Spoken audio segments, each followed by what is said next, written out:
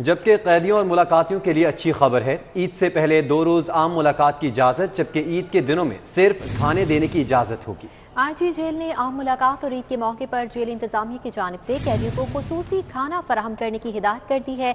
मजीद क्या हिदायत जारी की गई हैं जान लेते हैं अली शाही से। जी अली शाही बताइएगा क्या अहकाम दिए गए?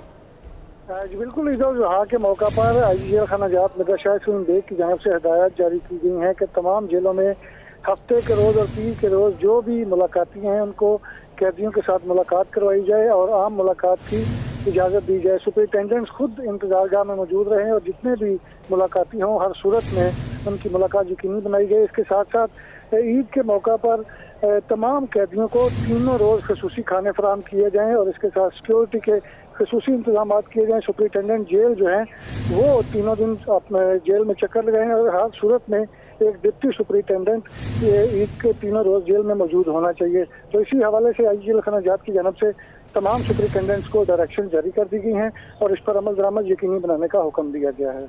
जी, अली साहिब, बहुत शुक्रिया, आपने अपडेट किया।